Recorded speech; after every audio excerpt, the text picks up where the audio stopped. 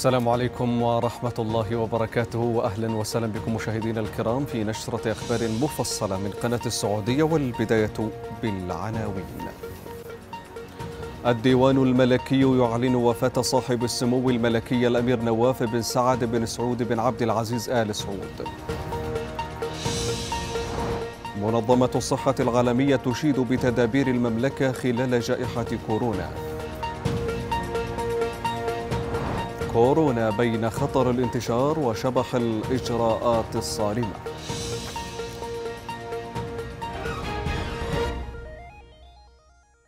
أهلا بكم. بسم الله الرحمن الرحيم. صدر عن الديوان الملكي اليوم البيان التالي. بيان من الديوان الملكي. انتقل إلى رحمة الله تعالى صاحب السمو الملكي الأمير نواف بن سعد بن سعود بن عبد العزيز آل سعود وسيصلى عليه إن شاء الله اليوم الثلاثاء الموافق للثالث من الشهر الثالث من عام 1442 للهجرة في مدينة الرياض. تغمده الله بواسع رحمته ومغفرته ورضوانه وأسكنه فسيح جناته. إنا لله وإنا إليه راجعون.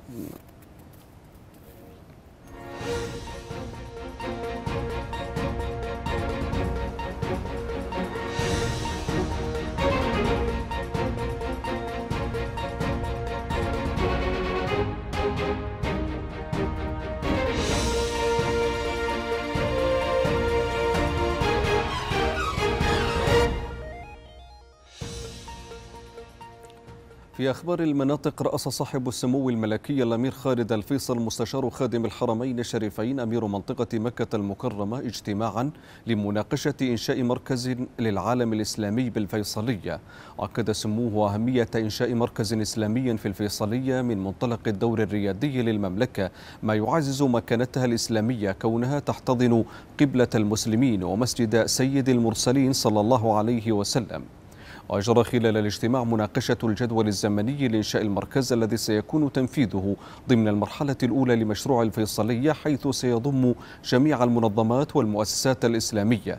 واستعرض الاجتماع مكونات مشروع الفيصلية الذي يقع على مساحة 2.450 كيلومتر مربع. ويحوي مناطق للاستثمارات العامة والخاصة لتحفيز نمو المشروع إلى جانب مقرات الإدارات الحكومية والحي الدبلوماسي والمركز الحضاري ومركزا للأعمال والتجارة ومركزا للتسوق والبيع بالتجزئة إضافة إلى رصيف للقوارب ومساكن مطلة على البحر. التقى صاحب السمو الملكي الامير فهد بن سلطان بن عبد العزيز أمير منطقة تبوك في اللقاء الأسبوعي رؤساء المحاكم والمواطنين ومديري الإدارات الحكومية المدنية والعسكرية وذلك في القصر الحكومي في تبوك. وتناول سموه في حديثه للمواطنين الموضوعات التي تهم المنطقة في مختلف المجالات منوها باللحمة الوطنية الصادقة التي تميز مجتمعنا. سائلا الله سبحانه وتعالى أن يديم على البلاد أمنها واستقرارها في ظل القيادة الرشيدة. أعرب صاحب السمو الأمير جلوي بن عبد العزيز بن مساعد أمير منطقة نجران عن شكره لحكومة خادم الحرمين الشريفين على ما توليه من حرص واهتمام بشؤون المواطن والمقيم في مختلف مناطق المملكة. جاء ذلك في المجلس الأسبوعي لسموه الاثنينية في حضور قيادات إمارة المنطقة والمحافظين ورؤساء المراكز حيث نقل لهم تحيات سمو وزير الداخلية وفخره واعتزازه بل وفخره واعتزازه بهم وأعلن سموه عن قرب إطلاق حزمة من برامج التحفيز لموظفي ديوان الإمارة والمحافظات والمراكز. من بينها جائزة سنوية للتميز وإيجاد بعض الامتيازات للموظفين. بجانب مجالات التحفيز الأخرى موضحا أهمية تهيئة الصف الثاني بكل إدارة أو قسم. من جهة أخرى اطلع سمو أمير منطقة نجران على التقرير الإحصائي للجنة مبادرة الدعم المجتمعي في المنطقة وثمن الأمير جلوي بن عبد العزيز خلال لقائه بمدير عام فرع وزارة الموارد البشرية والتنمية الاجتماعية رئيس اللجنة الفرعية للمبادرة محمد الدوسري دور اللجنة في التخفيف على المجتمع من أثار جائحة كورونا وفي إطلاق المبادرات النوعية التي حظيت بتأييد ودعم بل بتأييد ودعم من وزارة الموارد البشرية والتنمية الاجتماعية.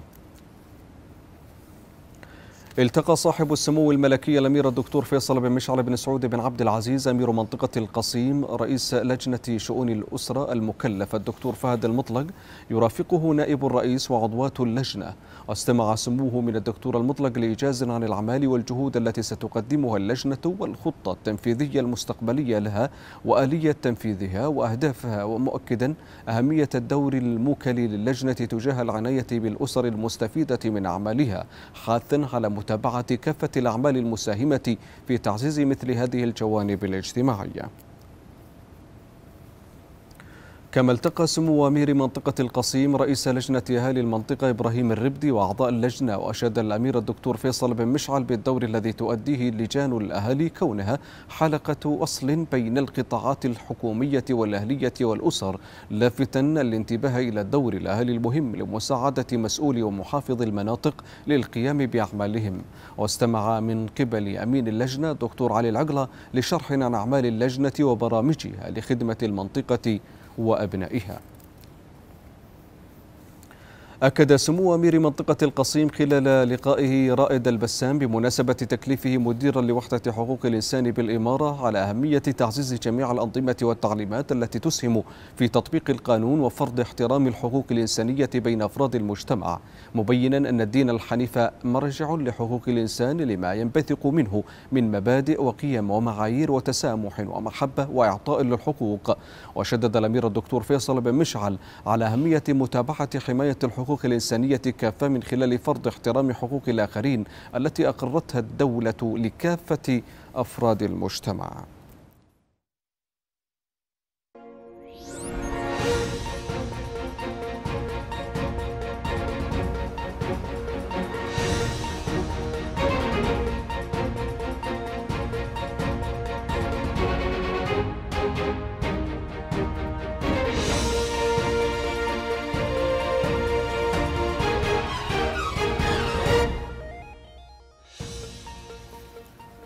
رأس صاحب السمو الملكي الأمير الدكتور حسام بن سعود بن عبد العزيز أمير منطقة الباحة رئيس اللجنة العليا للسلامة المرورية في المنطقة الاجتماع الأول للجنة. حيث نوه سموه بالدور المهم للجنة وأهمية التنسيق والتعاون بين الجهات المعنية بالسلامة المرورية وشدد على بذل الجهود لنشر الوعي المروري ودعم السلوك الإيجابي وتعديل الممارسات الخاطئة لدى السائقين موجها بتشكيل لجنة مكونة من الإمارة وفرع وزارة النقل والدفاع المدني والمرور للعمل على رصد الملاحظات في طرق العقاب بالمنطقة. وكما أكد سموه على ضرورة جاهزية مركز التدخل السريع في عقبة الباحة ووضع الخطط والإجراءات الوقائية اللازمة لرفع مستوى السلامة المرورية على الطرق والحد من الحوادث والعمل على تسهيل الحركة المرورية ورصد الاختناقات واتخاذ الإجراءات اللازمة لمعالجتها. من جانب آخر تسلم سمو أمير منطقة الباحة تقريرا عن جهود فرع هيئة الهلال الأحمر السعودي خلال جائحة كورونا. واطلع الأمير الدكتور حسام بن سعود خلال لقائه بمدير عام فرع الهيئة خالد الغامدي وعدد من منسوب الفرع على التقرير وما تضمنه من منجزات. مؤكدا أهمية العمل على تطوير الجهود التوعوية وتفعيل التوعية والوقائية الوقائية وتعزيز التعامل مع الحالات الطارئة في مختلف المواقع. عبر تأهيل وتدريب المتخصصين في مجال الإسعافات الأولية والسعي لإكسابهم الخبرة اللازمة وتفعيل التطوع بالتنسيق مع الجهات ذات العلاقة ومواصلة جهود مساندة مختلف القطاعات للتغلب على الجائحة. رأس صاحب السمو الملكي الأمير فيصل بن خالد بن سلطان بن عبد العزيز أمير منطقة الحدود الشمالية اجتماع لجنة متابعة تنفيذ المشروعات التي سيتم إنجازها في العام القادم بحضور مدير الإدارات الحكومية. وناقش الاجتماع تقرير اللجنة لمشاريع الإدارات الحكومية ونسب الإنجاز وأهم المعوقات والحلول التي تتطلب سرعة تنفيذ كل مشروع كما بحث الإجراءات التنسيقية المعتمدة بين الجهات الحكومية ذات العلاقة لتحسين كفاءة وجودة المشاريع. وجدد سموه على ضرورة قيام مدير الإدارات الحكومية بالمتابعة الميدانية المستمرة للمشاريع التي تحت التنفيذ ومعالجة معوقات سير العمل فيها.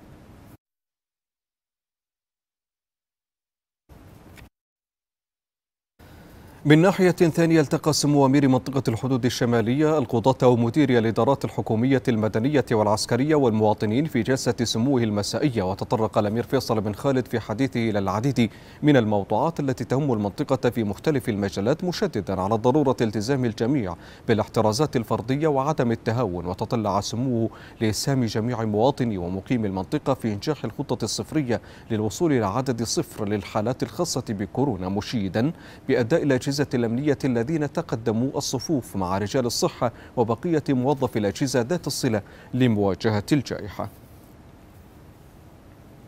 كما اطلع سمو أمير منطقة الحدود الشمالية خلال لقائه برئيس وفد منطقة الحدود الشمالية في المهرجان الوطني للتراث والثقافة الجندرية ماجد المطلق على الخطة العامة لمشاركة المنطقة وتشكيل رؤساء وأعضاء اللجان التنفيذية وآلية ومهام أعمالها والبرامج والفعاليات المزمع تنفيذها في جناح المنطقة طيلة أيام المهرجان. وجه الأمير فيصل بن خالد بتأسيس بنية تحتية مستدامة لمقر مشاركة المنطقة بالمهرجان مشددا على عرض الإرث التاريخي والتراث الثقافي الذي تشتهر به المنطقة.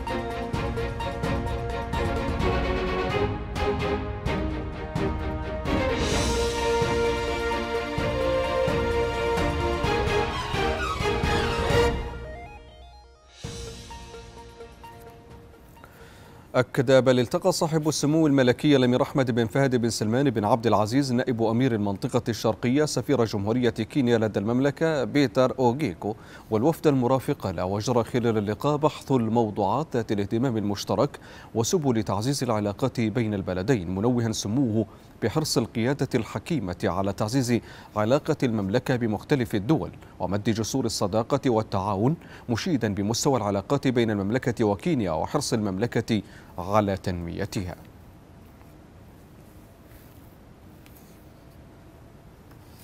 كما التقى سمو نائب أمير المنطقة الشرقية القنصل العام للولايات المتحدة الأمريكية في الظهران نيكول مانز بعزاوي وجرى خلال اللقاء بحث الموضوعات ذات الاهتمام المشترك وسبل تعزيز العلاقات بين المملكة والولايات المتحدة. ونوه الأمير أحمد بن فهد بالعلاقات الوثيقة التي تربط البلدين الصديقين في مختلف المجالات والتي بدأت قبل أكثر من 75 عاما مؤكدا حرص المملكة على تعزيز وتطوير هذه العلاقات بما يحقق المصالح المشتركة.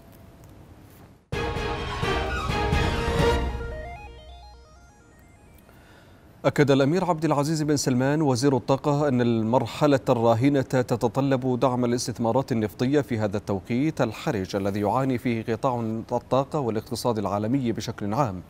وقال سمو وزير الطاقة أن المنتجين في أوبك بلس بذلوا جهودا واسعة للوصول إلى ما, تحق ما تحقق من تعاون لدعم استقرار السوق مؤكدا عدم وجود خلافات بين أعضاء أوبك بلس. وأكد الأمير عبد العزيز أنه تلقى تعهدات من الدول ذات الإنتاج الزائد بالتعويض في الفترة من أكتوبر إلى ديسمبر. مبينا أن النشار الماضي شهد مجموعة كبيرة من الرسائل المتباينة في سوق النفط. وأشار الأمير عبد العزيز بن سلمان إلى أن حكمة خادم الحرمين الشريفين وسمو ولي العهد ساعدت على التوصل إلى المرحلة التوافقية والتعاون والتنسيق الحالي. وكشف البيان الختامي للاجتماع الثالث والعشرين للجنة المراقبة الوزارية المشتركة برئاسة الأمير عبد العزيز بن سلمان وزير الطاقة والرئيس المشارك وزير الطاقة الروسي إلكسندر نوفاك أكد أن اللجنة لاحظت أن الانتعاش الاقتصادي قد تباطأ بسبب عودة ظهور حالات جائحة كورونا في الاقتصادات الرئيسية لا سيما في الأمريكيتين وآسيا وأوروبا. وللمزيد من المعلومات مشاهدينا الكرام يسرنا أن ينضم إلينا المحلل الاقتصادي الأستاذ سليمان العساف. أهلا وسهلا بكم أستاذ سليمان. ثم إلى أي مدى وصلت مجهودات دعم استقرار السوق النفطية تفضل. أهلا بكم وبالسادة المشاهدين. طبعا المملكة العربية السعودية من داخل أوبك وروسيا من خارج أوبك يبذلون جهود حثيثة من أجل الحفاظ على استقرار أسعار النفط واستقرار إمدادات النفط كما نعلم إنه بسبب جائحة كورونا كان هناك الكثير من المشاكل سواء من ناحية انخفاض الأسعار أو حتى من ناحية الوفرات النقدية العالية جدا حيث أن كان هناك أكثر أو ما يقارب ال 100 مليون برميل فائض تجوب البحار في خزانات عائمة وبعضها في خزانات أرضية. بالإضافة إلى انه الإنتاج النفطي اضطروا إلى انه يقومون بتخفيضه بحدود 10 مليون برميل لامتصاص الفائض وحتى تعود الأسعار للأوضاع الطبيعية. نعم أستاذ سليمان يعني اللجنة أكدت على تباطؤ الانتعاش الاقتصادي طبعا بسبب عودة ظهور حالات جائحة كورونا آه، في الاقتصادات الرئيسية كما أسلفنا في الخبر ما هي قراءتك المستقبلية؟ طيب طبعا يا سيد الكريم بالنسبة لي احتمال الموجة ما تسمى ب second wave الموجة الثانية من جائحة كورونا يبدو أنها على الأبواب وبدأت في بعض الدول بسبب عودة الخريف وفصل الشتاء بدايته. هذه الأمور قد تؤثر على آه، أسعار النفط ولكن لا أعتقد أن سيكون تأثيرها مثل التأثير بداية الجائحة لأنه في البداية كان أمر مفاجئا غير مسبوق وغير منتظر وغير متوقع ولم توجد هناك أي حلول وكان الإغلاق التام هو الحل الوحيد مما أثر بشكل صادم على الأسواق، أنا أتوقع الآن أن العالم أكثر استعدادا وكما نعلم أن اللقاحات من ما بين ثلاثة إلى ست لقاحات يتم العمل عليها وستصل قريبا. لذلك أعتقد أن التأثير سيكون في حدود المعقول والمقبول ولن يكون إن شاء الله ذا تأثير كبير أو صادم أو حتى مزعج للأسواق. نعم بإذن الله تعالى المحلل الاقتصادي الأستاذ سليمان العساف شكرا جزيلا لك أن كنت معنا في هذه النشرة. انطلاقا من مبادئ ميثاق الأمم المتحدة التي تعنى في الأساس بتحقيق الأمن والسلم الدوليين أكدت المملكة أنه لا يمكن تحقيق السلم والأمن والاستقرار للشعب الفلسطيني ما لم يتم حصولهم على حقوقهم المشروعة بالعيش على أرضهم بما يحقق آمالهم وطموحاتهم. جاء ذلك في كلمة المملكة التي ألقاها نائب المندوب الدائم للمملكة لدى الأمم المتحدة الدكتور خالد منزلاوي خلال الدورة الخامسة والسبعين للجمعية العامة للأمم الأمم المتحدة. وقال منزلاوي إن القضية الفلسطينية قضية عربية أساسية حيث لا تزال هذه القضية على رأس القضايا التي تدعمها المملكة في سياستها الخارجية.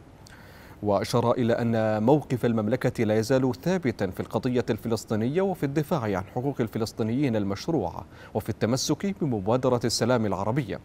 وأضاف الدكتور منزلاوي أن المملكة تعرب مجددا عن التزامها بدعم الخيار الاستراتيجي للسلام وفقا للقرارات والقوانين الدولية. عدت المملكة سيادة القانون على الصعيدين الوطني والدولي مرتكزا وشرطا أساسيا من أجل تحقيق الأمن والسلم الدوليين وركيزة مهمة تكفل حماية حقوق الإنسان من أجل سيادة القانون والعدالة والمساواة. جاء ذلك في الكلمة التي ألقاها السكرتير الأول لوفد المملكة الدائم لدى الأمم المتحدة نداء أبو علي. وقالت نداء أبو علي إن المملكة انتهجت منذ تأسيسها نهجا بالاعتدال والدبلوماسية والشفافية في الخطوات السياسية ومرتكزا على الالتزام بالمواثيق والمعاهدات الدولية والقانون الدولي والتفاعل المستمر والبناء مع المجتمع الدولي. وأضافت بأن المملكة ترحب بالجهود المبذولة من قبل الأمم المتحدة التي يعكسها التقرير المتعلق بأنشطتها التي تعزز مجال سيادة القانون من أجل تعزيز الجهود المتضافرة لمساعدة الدول الأعضاء لتعزيز سيادة القانون وضمان احترام حقوق الإنسان للجميع بما في ذلك إطار التدابير المتخذة لمواجهة انتشار جائحة فيروس كورونا 19 ومعالجة أثره على سيادة القانون.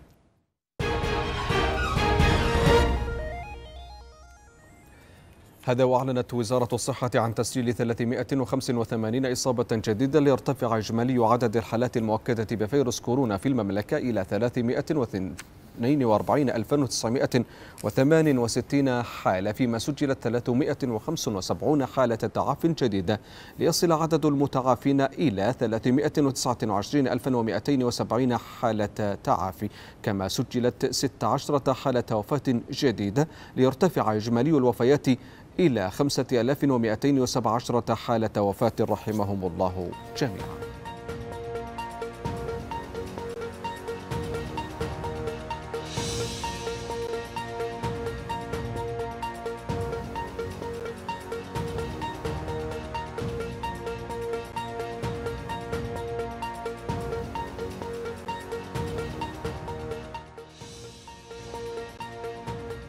أشاد المدير العام لمنظمة الصحة العالمية بالتدابير القوية التي اتخذتها المملكة قبل إعادة فتح الأماكن المقدسة لأداء العمرة خلال جائحة كورونا التي استؤنفت الشهر الحالي تدريجيا بعد تعليقها منذ مارس الماضي ضمن إجراءات احتواء فيروس كورونا وفق أربعة مراحل للعمرة حيث ينتظر أن تستأنف تستأنف العمرة والزيارة من داخل وخارج السعودية تدريجيا بطاقة تشغيلية تصل إلى 100 من 100 في الأول من نوفمبر وتنطلق المرحلة الرابعة بمجرد الإعلان عن انتهاء أزمة كورونا أو زوال الخطر وأبدت المنظمة امتنانها للقيادة في المملكة العربية السعودية ولدعمها لمبادرة تسريع إتاحة أدوات مكافحة فيروس كورونا. وينضم إلينا في هذه الأثناء دكتور سري عسيري وهو مدير الإدارة العامة للحج والعمرة في وزارة الصحة. مساء الخير دكتور سري أهلا وسهلا بك ابتداء ثم إشادة من أعلى منظمة عالمية بجهود المملكة وتدابيرها الاحترازية. ما الذي يعنيه ذلك لكم؟ تفضل. مساك الله بالخير وجميع السادة المشاهدين الكرام. من فضل الله سبحانه وتعالى أن شرف وطننا الغالي وقادته بخدمة الحرمين الشريفين وبتوجيهات قيادتنا الرشيدة تم البدء في العودة الآمنة لموسم العمرة وفق الاشتراطات الاحترازية والاستعدادات الطبية واللوجستية على أعلى المستويات من كافة الجهات جميعا. وما إشادة رئيس منظمة الصحة العالمية بذلك إلا هو انعكاس عدمي لما توليه حكومتنا الرشيدة من حرص على خدمة المعتمرين والمصلين بالبيت الحرام والمسجد النبوي وتحقيق أداء العمرة وزيارة البيت العتيق والمسجد النبوي والصلاة فيهما برغم الجائحة العالمية لكوفيد 19 ومن الناحية الصحية قامت وزارة الصحة بالتنسيق مع جميع الجهات ذات العلاقة وفق التوجيهات الكريمة بمتابعة وتقييم الوضع الصحي للمعتمرين وفق الإجراءات المعتمدة ومتابعة أعمال التنظيم والتفويج فيما يخص ملائمتها للإجراءات الاحترازية وتدريب القادة الصحيين على الإجراءات اللازمة للتعامل مع الوضع الصحي للمعتمرين ورفع الجاهزية في جميع الخدمات الطبية والأسرة في كل من منطقة مكة المكرمة ومنطقة المدينة المنورة والترصد الوبائي ومتابعة الوضع الصحي على مدار الساعة والتزام المعتمرين والمصلين بالإجراءات الاحترازية بالتنسيق مع جميع الجهات الحكومية الأخرى على مدار الساعة. نعم. دكتور السري يعني حدثنا عن أبرز هذه الجهود، لكن ماذا عن الحالة الصحية لضيوف الرحمن خاصة بعد إطلاق المرحلة الثانية للعمرة والزيارة؟ ولله الحمد والمنة حالة وصحة جميع المعتمرين والمصلين في أتم صحة ولم تسجل بينهم أي حالات لأمراض معدية ولله الحمد. وعيهم الصحي جدا كبير، هناك تنسيق عالي مع جميع الجهات الحكومية من ناحية تطبيق الاشتراطات الصحية بالتباعد المكاني ولبس الكمامات والتعقيم والسير على المسارات المخصصة للمعتمرين وهناك مسارات مخصصة أخرى للمصلين ولله الحمد بسلاسة وأمان ووفق جميع الاشتراطات الصحية التي أشادت ولله الحمد بها المنظمات العالمية ومنها إشادة رئيس منظمة الصحة العالمية هذا اليوم. الدكتور سري عسيري وأنت مدير الإدارة العامة للحج والعمرة في وزارة الصحة شكرا جزيلا لك أن كنت معنا في هذه النشرة. نشرتنا مستمرة مشاهدينا الكرام لكن بعد قليل. ابقوا معنا.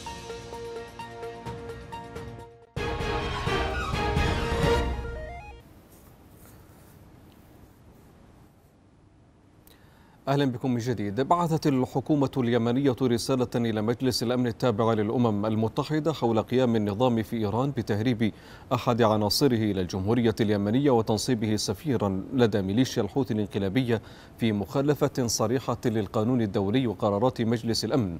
ونبهت الحكومة اليمنية إلى أن إرسال النظام الإيراني لأحد عناصره الإرهابية كسفير له من شأنه تمكين الميليشيا الانقلابية من التصرف باسم اليمن ويمثل تأكيد لاستمرار النظام الإيراني في تحديه للمجتمع الدولي من خلال التعامل العدائي المقصود في علاقات النظام الدبلوماسية بالدول الأخرى.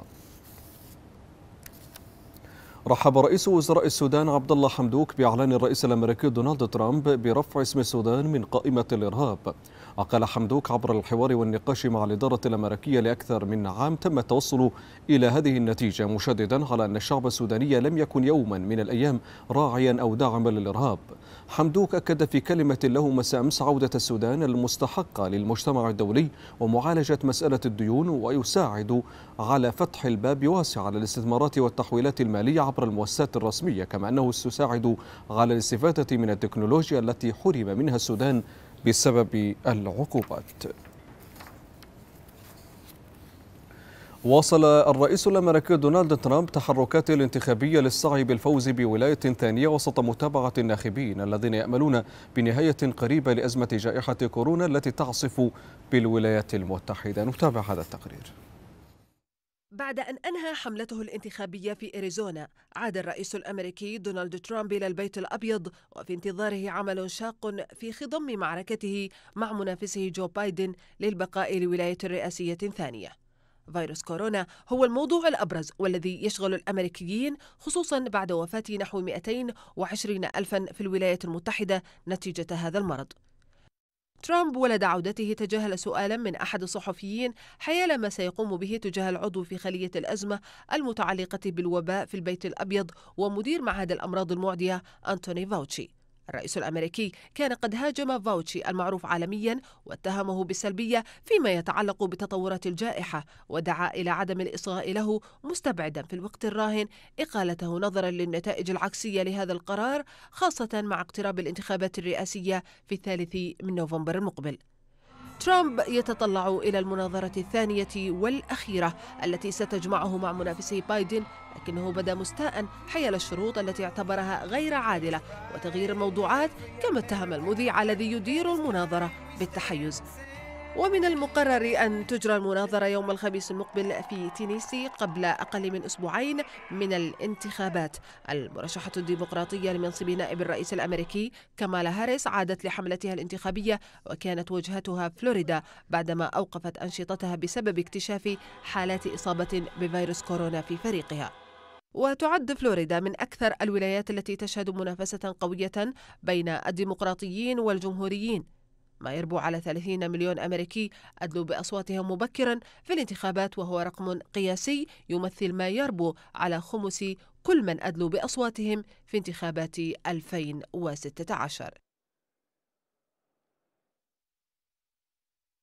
بريطانيا إجراءاتها الصارمة. حد من انتشار فيروس كورونا المستجد حيث أعلنت ويلز الإغلاق الكامل ومناطق عدة في إنجلترا بسبب تزايد التي تتزايد فيها حالات الإصابة بالوباء. نتابع. بريطانيا ما تزال تكافح للحد من انتشار فيروس كورونا المستجد الذي يعصف بمناطقها. الوزير الأول في ويلز مارك داركفورد أعلن الإغلاق الكامل للبلاد لمواجهة الوباء ابتداء من الثالث والعشرين من أكتوبر الجاري حتى التاسع من نوفمبر المقبل. مضيفا أن هذا الإجراء أفضل فرصة لاستعادة السيطرة على الفيروس مطالبا المؤسسات التجارية بالإغلاق والجميع بالبقاء في المنازل. وأوضح أنه سوف يتم دعم المؤسسات التجارية التي سوف تتضرر من إجراءات الإغلاق بحزمة تقدر ب 382 مليون دولار. وفي منطقة مانشستر الكبرى في إنجلترا حيث ترتفع حالات الإصابة بالفيروس يتزايد التوتر مع الحكومة المركزية في ويستمنستر بشأن مسألة الدعم المالي.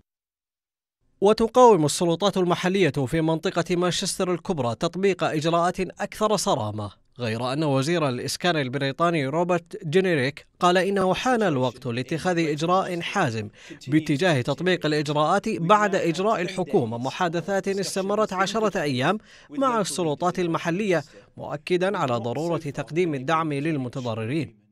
وكانت بريطانيا قد وضعت مقياس طوارئ جديد مكون من ثلاثة مستويات بعد أن باتت منطقة ليفربول الأكثر تضررا من انتشار الفيروس.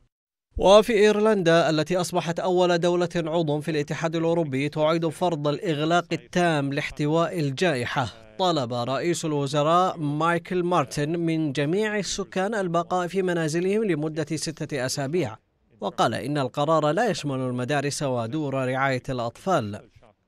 التداعيات الاقتصادية للجائحة ما زالت مستمرة. حيث أغلقت أسواق الأسهم الأوروبية منخفضة نتيجة الزيادة الحادة في الإصابات واحتمال المزيد من القيود الاقتصادية وهو ما غطى على تفاؤل بشأن علامات على تقدم نحو اتفاق للتجارة بين بريطانيا والاتحاد الأوروبي وآمال بتحفيز مالي في الولايات المتحدة. أصبحت الأرجنتين ثاني دولة في أمريكا الجنوبية تتخطى حاجز المليون إصابة بفيروس كورونا المستجد. وأعلنت وزارة الصحة الأرجنتينية أن عدد الحالات المسجلة تمثل خامس أكبر عدد إصابات على مستوى العالم. الدولة الواقعة في أمريكا الجنوبية سجلت 451 حالة وفاة جديدة خلال ال 24 ساعة الماضية ما رفع عدد الوفيات إلى أكثر من 26700 منذ بدء تفشي الجائحة. وإلى البرازيل حيث أعلن معهد بوتانتان للأبحاث التي تموله ولاية ساو باولو أن التجارب السريرية المتقدمة لمصل محتمل للفيروس القاتل طورته شركة سينوفاك الصينية أثبت أنه آمن بعد تجارب شملت تسعة آلاف شخص. وكانت البرازيل أول دولة في أمريكا الجنوبية تجاوزت حاجز المليون حالة في يونيو الماضي. ومنذ ذلك الحين ارتفع عدد الإصابات في البلاد إلى أكثر من خمسة ملايين ومئتي ألف حالة بعد الولايات المتحدة التي سجلت ثمانية ملايين ومئة ألف حالة والهند التي سجلت سبعة ملايين وخمسمائة ألف حالة.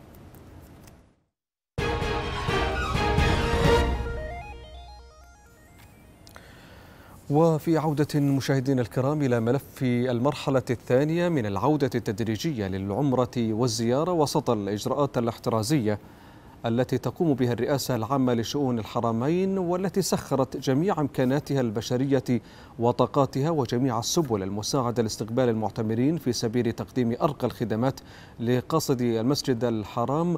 يسرنا أن يكون معنا الزميل بهاء عسكر الذي ينضم إلينا من مكة المكرمة ليطلعنا أكثر على التفاصيل. أهلا وسهلا بك. بهاء ابتداء ثم قل لنا وتحدث لنا وللمشاهدين الكرام عن هذه الإمكانات المسخرة والجهود المبذولة خدمة للمعتمرين وقاصدي المسجد الحرام. تفضل بهاء أسعد الله مساءك يوسف ولكافة مشاهدينا الكرام عبر القناة الأولى. قبل قليل يوسف هنا من المسجد الحرام قضيت شعائر صلاة العصر. ثمانية آلاف مصلي تمكن ولله الحمد من الدخول إلى المسجد الحرام وأداء شعيرة صلاة العصر هنا. وكما تلاحظ خلفي جبل الصفا عدد من المعتمرين الذين من الله سبحانه وتعالى عليهم بأن يأتوا إلى هذه البقعة الطاهرة. وأن يتموا شعائر مناسك العمرة. كما تلاحظ هنا في مشعر الصفا. وهنا في المسجد الحرام العديد من الخدمات التي تقدم من قبل الرئاسة العامة لشؤون المسجد الحرام والمسجد النبوي وكذلك من قبل الجهات العاملة سواء الجهات الأمنية وغيرها من الجهات التي تقدم خدماتها. هنا ماء زمزم. يوزع من قبل الرئاسة العامة لشؤون المسجد الحرام والمسجد النبوي بصفة دورية وفي كل الأماكن يتم تواجد عدد من الأشخاص الذين يحملون حول ظهرهم حقائب خاصة بماء زمزم توزع على المعتمرين وعلى المصلين هنا في المسجد الحرام. هذه الحقائب التي نشاهدها يحملها عدد من العاملين في قطاع وإدارة زمزم. عبوات ماء زمزم توزع على الجميع بعدد تقريبا يومي يفوق أستطيع أن أقول يفوق الخمسين ألف عبوة توزع يوميا. آه هذه العبوات آه من ماء زمزم تقدمها الرئاسة العامة لشؤون المسجد الحرام والمسجد النبوي. إضافة إلى ذلك هنالك خدمات تقدمها مثل خدمات العربات وهي خدمات مخصصة لكبار السن ولذوي الاحتياجات الخاصة التي تقدمها الرئاسة العامة لشؤون المسجد الحرام والمسجد النبوي من أجل خدمة المعتمرين الذين يريدون آه أداء شعيرة الطواف على عربة سواء كهربائية أو عربة يدوية. والعربات الكهربائية أيضا بالإمكان استخدامها في شعيرة الطواف وأيضا من أجل أداء شعيرة المسعى. هذه العربات الإلكترونية لها رسوم محددة أما العربات اليدوية فهي مجانية تقدم خدمة لمعتمري بيت الله الحرام. طبعا مجموعة من المعتمرين هنا من من من الله سبحانه وتعالى عليهم بأداء الشعيرة. قبول إن شاء الله. الله الله يبارك فيك جزاكم الله خير. وربنا يجعل الله يجعل ذلك في ميزان حسناتكم. وبارك الله لنا في خادم الحرمين وربنا يوفق لما أنت من أهل مكة من أنا أنا من دخ من من أهل مكة.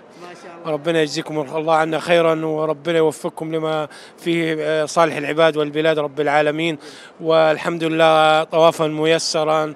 ونسألكم يعني نسألكم يعني آه، آه، المزيد من من من ال- من الأعداد إن شاء الله وربنا يوفقكم وخدمة طيبة. و- باذن الله تعالى السلام عليكم مساك السلام ورحمة الله. مساك الله بالنور إن الله يا رب الله يتقبل منا ومنكم يا رب.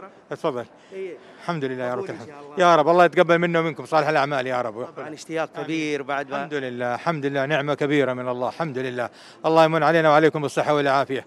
جزاه الله خير حكومة مولانا والله يغفر له الله يغفر له ويرحم الله الله يرحمنا ويرحمهم يا رب حق المسلمين يا رب. إن شاء الله. آمين بإذن الله آمين. وعافيك يا رب. بارك الله فيك. الله سبحانه وتعالى لكم القبول وللجميع. يا رب يصلحنا ويصلحهم ويصلح جميعا يا رب الجميع. إن شاء الله. قبول إن شاء الله منا ومنك إن شاء الله صالح الأعمال. يا هلا وسهلا يا. يا مرحبا. ما شاء الله انت من أي دولة؟ أنا من مصر. يا هلا وسهلا. مقيم في مكة ام خارج في؟ ناف من مكة إن شاء الله. سجلت عبر التطبيق اعتمرنا طبعا. أيوه اعتمرنا. سجلت أيوه. من البداية أم من ال... لا من بعد ما فتحت العمره على طول. من بعد المرحلة الثانية. بعد المرحلة الثانية أيوه. ما شاء الله. قبول قبول. منا شاء الله. ومنك طبعاً صالح. هذا المكان له. آمين طبعا أكيد طبعا. أكيد كيف ما الاشتياق؟ هذا بيت الله الحرام. كلنا نشتاق ليه. ربنا إن شاء الله ما يحرم أي حد منه إن شاء الله. آمين يا رب آمين يا رب. يا هلا وسهلا بك. قبول إن شاء الله. الله يديك العافية. بارك الله فيكم. والحمد لله ما شاء الله. جينا لقينا الوضع ما شاء الله حلو جدا جدا والترتيبات ما شاء الله والإنسان ينشط وكمان وي ويعني يكتر أكثر فرحا وسرورا يعني بالمجيء. وما شاء الله كل الدنيا مرتبة وكل الناس. الحمد لله رب العالمين. الحمد لله. وما شاء هذا- الله. هذا واجبنا هنا من يقدم كل من يقوم بخدمة المعتمرين والمصلين. شكرا لك الله يعطيك العافية. نحمد الله سبحانه وتعالى يوسف على هذه النعمة التي من الله سبحانه وتعالى بها علينا بأن بدأت الأعداد تتزايد من المعتمرين والمصلين للقدوم إلى بيت الله الحرام. نسأل الله سبحانه وتعالى أن تزول هذه الجائحة وتعود الأعداد كما كانت مما قبل وأفضل مما كانت عليه بإذن الله تعالى. نعم الزميل بهاء عسكر شكرا جزيلا لك هذا الوصف وهذه الإضافة وهذه المشاعر التي نقلتها إلينا من خلال المعتمرين والزوار الذين أتيحت لهم العمرة والزيارة في هذه المرحلة. انطلقت الحملة التوعوية للحد من ظاهرة التعديات في منطقة عسير بمشاركة عدد من الجهات الحكومية والإعلامية وتهدف الحملة إلى بيان الموقف الشرعي والأخلاقي والنظامي من التعديات. وللحديث أكثر مشاهدينا الكرام عن هذه الحملة ينضم إلينا من مدينة أبها مراسل أخبار السعودية زميل عبد الله العبيد. عبد الله أهلا وسهلا بك ابتداء ثم حدثنا عن هذه الحملة عبد الله وما هي مستهدفاتها؟ وما المعول الشرعي والاجتماعي عليها؟ تفضل.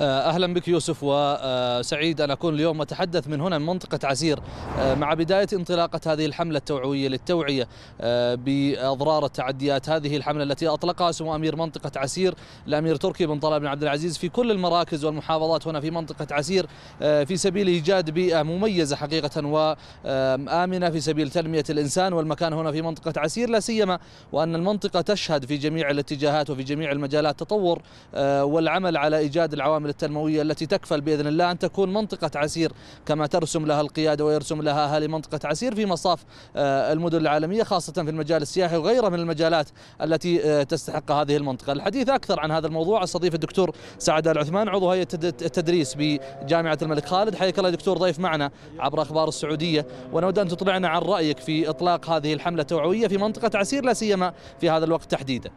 حياكم الله الحقيقة قرار الدولة بوقف التعديات هو قرار حكيم لأنه في حماية الإنسان وفي حماية المكان. وأمارة منطقة عسير تفاعلت مع هذا القرار فوضعته في حيز التنفيذ بالتعامل معه بحزم وبجدية وبتفاعل بناء. وجدت هناك غرفة عمليات للحد من التعديات وأيضا هناك حملة توعوية مرادفة تصل إلى كل أطياف المجتمع.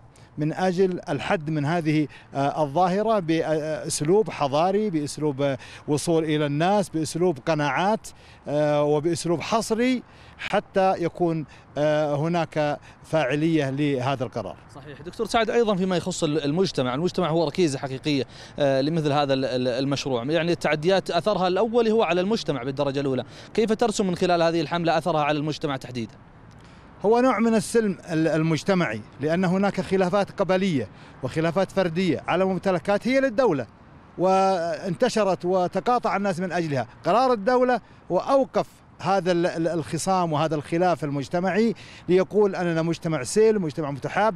يجب أن نتعامل مع الأرض ومع الإنسان ب- بمنطق وبحكمة وبتعامل بتعامل ينعكس إيجابيا على إنسان هذه المنطقة بل على مستوى الدولة. آه، لأن التعدي هو ظلم سواء كان على مستوى الفرد أو على مستوى الجماعة، لا تريد أن تظلم الجماعة ولا أن تظلم الفرد. ال- الملكية العامة هي للدولة والملكية الخاصة هي للفرد، فقد يصل في إذا احتاجت الدولة أو المشاريع إلى الملكية الخاصة فستعوضه لن يكون هناك ظلم. أما أخذ آه، جزء من المكان لصالح إنسان مهما كان كما قال مقام خادم الحرمين الشريفين ولي عهده الكريم وأمير المنطقة أنه يعني لن يستثنى من حق من الحق العام أي شخص مهما كان مكانه. صحيح. دكتور سعد يعني تطرقت لنقطة مهمة جدا وهي أن هذه الغرفة غرفة ال- ال- إدارة التعديات على مستوى منطقة عسير وكذلك على مستوى الدولة هي تكفل بالدرجة الأولى الحفاظ على أملاك الدولة وكذلك في نفس المستوى الحفاظ على أملاك ال- المواطنين يعني لضمان استمرار هذه العملية بين المواطن والوطن. يعني هذا نقطة مهمة جدا. صحيح. منطقة عسير شكلت في كل أزمة غرفة عمليات. رأينا غرفة أزمة كورونا ونجحت نجاح كبير جدا. الآن آه، غرفة أزمة التعديات والآن بدأت فاعليتها في الحملة التوعوية في الورش العمل.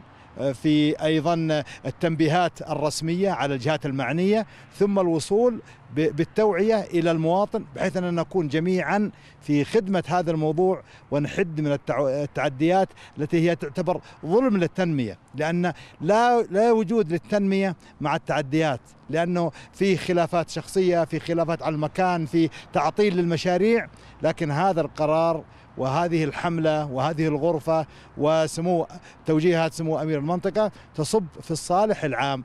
المقصود بهذا المشروع هو الصالح العام ولا يوجد هناك استثناءات ل- ل- لأشخاص أو لمجموعات. صحيح. دكتور أيضا فيما يخص التنمية، التنمية يعني منطقة عسير مقبلة على آه، تنمية خاصة من خلال الرؤية الاستراتيجية التي تم آه، العمل عليها في المنطقة بناء على الرؤية الوطنية 2030 هذه التعديات آه، لو استمرت في لا سمح الله في منطقة عسير ستكون حاد فعلا من هذه التنمية، اشتراك المجتمع في هذا الجانب هو أمر إيجابي وسيكفل بإذن الله وصول منطقة عسير لما ترمونه. صحيح. ال- رؤية 2030 هي كفلت آه، جميع ال- ال- النواحي الاقتصادية المجتمعية المجتمع الطموح الاقتصاد المزدهر. هذه ال- النواحي تركز عليها ال- ال- الرؤية ويجب أن نتعامل مع البيئة ومع الإنسان من هذا المنطق أو من هذا المنطلق حتى تحقق التنمية آه، وجهتها الصحيحة. اللي عندنا في المنطقة هي منطقة سياحية. في غابات آه، أشجار شجيرات سفوح جبال آه، منحدرات أودية. يجب أن تكون أول شيء أن تبقى على طبيعتها. الطبيعة حتى يس- يستمتع الإنسان بها. ثم الأمر أن لا يحصل عليها تعدي تقطع السبل تقطع الطرق آه، تغير الاتجاهات تجريف التربة قطع الأشجار. هذه كلها معوقات للتنمية والبيئة الطبيعية هي قبل أن تبني مسكنا أو قبل أن تمد طريقة أو كذا. إذا وجدت متعة المكان وجدت كل متعة واستطعنا أن ننافس في منطقة عسير على أن نكون وجهة سياحية بل وجهة سياحية أولى.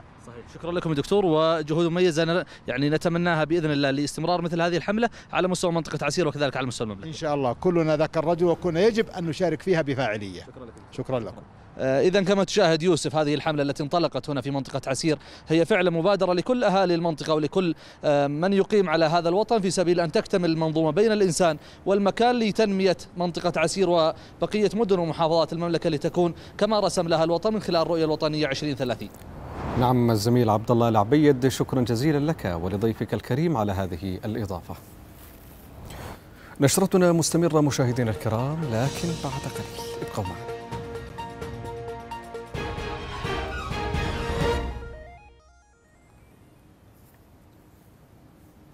أهلا بكم من جديد. تنظم الهيئة السعودية للمواصفات والمقاييس والجودة بالشراكة مع عدد من الجهات المحلية والعالمية أول قمة دولية تختص بمناقشة القضايا ذات الصلة بالمواصفات القياسية ودورها في مواجهة الأزمات ودعم التحول الرقمي وذلك ضمن جهود المملكة خلال رئاستها لمجموعة دول العشرين في تعزيز التعاون بين دول العالم في مختلف المجالات. وتركز القمة الدولية للمواصفات والتي تنطلق في الرابع من نوفمبر القادم على دور المواصفات القياسية وأجهزة التقييس الوطنية في مواجهة الأزمات. كما ستتطرق القمة لمناقشة دور المواصفات القياسية في تعزيز دور التحول الرقمي الجوهري والحساس في الأزمات. أعلن فريق العمل الثامن بمجموعة الفكر تيج 20 المنبثقة عن مجموعة جي 20 إنجاز الهيكل المالي العالمي الذي يهدف لإدارة الاستقرار المالي في الدول المتقدمة والنامية. ويركز عمل الفريق الثامن على إجراءات السياسة العامة المتعلقة بالإدارة المالية العالمية بما فيها التعاون بين السلطات الإقليمية والسلطات المتعددة الجنسيات لإدارة الاستقرار المالي في الدول المتقدمة والنامية إضافة إلى تشجيع عملية تطوير القطاع المالي الشامل من خلال أدوات جديدة كما سيتناول بالدراسة حوكمة وتنظيم العملات الرقمية المشفرة والتقنية التقنية المالية وتأثيراتها على النظام النقدي. الدولي. استعرض برنامج التحول الوطني أبرز إنجازات وزارة الموارد البشرية والتنمية الاجتماعية من خلال مبادرات البرنامج الساعية إلى تحقيق عدد من أهداف رؤية 2030 الاستراتيجية. ودشنت وزارة الموارد البشرية العديد من البرامج لتأهيل وتدريب موظفي وقيادات الموارد البشرية كما عملت الوزارة على تشجيع أنماط عمل حديثة تناسب فئات المجتمع كافة. فدشنت منصة مرن التي تمكن السعودي الباحث عن عمل وصاحب العمل من التعاقد بمرونة كما دشنت الوزارة المنصة الرقمية مسار لإدارة وتطوير الموارد البشرية في القطاع العام كما عمل برنامج التحول الوطني بقيادة وزارة الموارد البشرية البشرية والتنمية الاجتماعية على تمكين المرأة من خلال زيادة مشاركتها في سوق العمل ورفع نسبة توظيف المرأة في المناصب القيادية وتعزيز دورها القيادي بالإضافة إلى العديد من البرامج التي تعمل على تمكين المجتمع عبر بنية أساسية متكاملة تضمن التنمية المستدامة. ولتفاصيل أوسع مشاهدينا الكرام حول منجزات وزارة الموارد البشرية والتنمية الاجتماعية من خلال برنامج التحول الوطني يسرنا. أن ينضم إلينا بل أن ينضم إلينا هاتفيا الرئيس التنفيذي لبرنامج التحول الوطني المهندس ثامر السعدون. مهندس ثامر أهلا وسهلا بك ابتداء ثم هل أطلعتنا مهندس ثامر على الأهداف التي يسعى برنامج التحول الوطني لتحقيقها مع وزارة الموارد البشرية والتنمية الاجتماعية؟ تفضل. بسم الله الرحمن الرحيم. تحية طيبة لك أخي الكريم والأخوة المشاهدين وسعيد بتواجدي معكم. هناك أهداف عديدة وشاملة لرؤية المملكة 2030 مستندة لبرنامج التحول الوطني وتقود وزارة الموارد البشرية والتنمية الاجتماعية بعض هذه الأهداف وتشمل تعزيز التنمية المجتمعية وتطوير القطاع غير الربحي تشجيع العمل التطوعي وأيضا تمكين فئات المجتمع من دخول سوق العمل. نعم. نعم مهندس ثامر يعني أولت رؤية المملكة العربية السعودية 2030 تمكين المرأة اهتماما كبيرا ولعل من أهداف برنامج التحول الوطني كما قرأنا زيادة مشاركة المرأة في سوق العمل، إلى أين وصلت مراحل تحقيق هذا الهدف؟ بالفعل زيادة مشاركة المرأة في سوق العمل هو أحد الأهداف الاستراتيجية لرؤية المملكة 2030 الطموحة المسندة لبرنامج التحول الوطني. ولله الحمد البرنامج حقق مستهدف مؤشر معدل المشاركة الاقتصادية للإناث السعوديات لعام 2020 وتجاوزه للوصول إلى 26% وفق بيانات الهيئة العامة للإحصاء. حيث كانت نسبة 22% في عام 2015 لله الحمد هذا كان في عمل كبير من وزارة الموارد البشرية والتنمية الاجتماعية. وكما أشرتم في التقرير كان في مبادرات مثل قرة لتوفير خدمات رعاية الأطفال بسعر مناسب. كان في مبادرات مثل الوصول لدعم نقل المرأة العاملة. وأيضا كان في تركيز على تدريب القياديات كان في تدريب لأكثر من ألف متدربة وذلك لتعزيز دور المرأة القيادي وأيضا كان في تشجيع لأنماط عمل جديدة تشجع العمل عن بعد وأيضا تم إطلاق نظام العمل المرن. نعم نعم مهندس ثامر يعني أولت بل بل مع كل هذه الأهداف والمبادرات المتنوعة التي نشهدها ما هي تطلعات برنامج التحول لمنظومة الموارد البشرية والتنمية الاجتماعية وكيف يعمل على تحقيقها؟ المبادرات اللي أطلقها البرنامج بقيادة وزارة الموارد البشرية والتنمية الاجتماعية كثيرة ومتنوعة. ذكرنا جزء يسير منها في السؤالين اللي قبل. وبالإضافة إلى ذلك كان في في أهداف نعمل عليها سويا. مثلا تشجيع العمل التطوعي الحمد لله نظام العمل التطوعي تم إقراره في بداية السنة. أيضا أطلقت منصة العمل التطوعي فوصلنا الآن إلى عدد متطوعين يتجاوز 200 ألف متطوع. أيضا من الأهداف اللي نعمل عليها مع وزارة الموارد البشرية والتنمية الاجتماعية أهداف مثل تعزيز قيام الشركات بمسؤوليتها الاجتماعية تمكين اندماج ذوي الإعاقة في سوق العمل تمكين الأسر المنتجة وزيادة مساهمتها في الاقتصاد تحسين ظروف العمل كل هذا وأكثر هو جهد هو جزء من جهود كبيرة ومستمرة يقوم فيها البرنامج مع الوزارة لتحقيق مستهدفات رؤية المملكة 2030 من خلال تمكين المجتمع بكافة فئاته بطريق تضمن التنمية المستدامة بإذن الله. نعم المهندس ثامر السعدون وأنت الرئيس التنفيذي لبرنامج التحول الوطني، شكرا جزيلا لك أن كنت معنا في هذه النشرة. حصلت مدينة الملك سعود الطبية ممثلة في مركز صحة القلب على شهادة الاعتماد كأحد المراكز المرجعية على مستوى المملكة لعلاج الرجفان الأذيني بالتبريد. وجاء حصول المركز على شهادة الاعتماد بعد أن أجريت فيه العديد من العمليات المتخصصة في هذا المجال دون حدوث أي مضاعفات ولله الحمد. وأوضحت المدينة أن هذه التقنية تعد من أحدث الوسائل لعلاج هذا المرض الشائع الذي يعد من أكثر أمراض اختلال نظم القلب شيوعا وبذلك يكون قد توفر كل أنواع العلاج لاختلال نظم القلب بمدينة الملك سعود الطبية بعد إدخال نظام التنقية ثلاثية الأبعاد حديثا في المركز.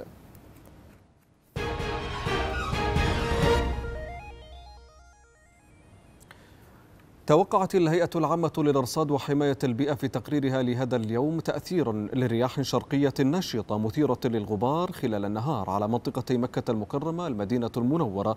يصحب معها ارتفاع في درجات الحرارة العظمى في حين يكون الطقس مستقر على بقية مناطق المملكة.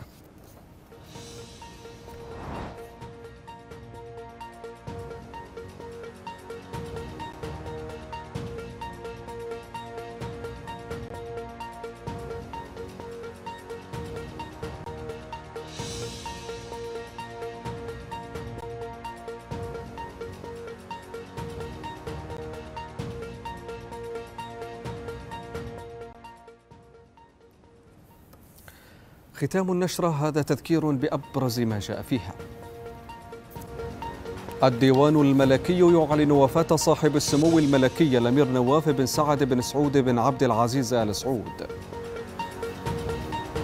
منظمة الصحة العالمية تشيد بتدابير المملكة خلال جائحة كورونا. كورونا بين خطر الانتشار وشبح الإجراءات الصارمة. ختام النشرة مشاهدينا الكرام شكرا على طيب المتابعة. بقي أن نذكركم بأننا بالحذر عدنا وبالالتزام نسلم فنحن جميعا في مركب واحد والتقصير من البعض يؤثر على الجميع. في أمان الله.